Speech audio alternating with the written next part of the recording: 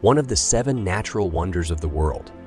Victoria Falls spans the Zimbabwe and Zambia borders.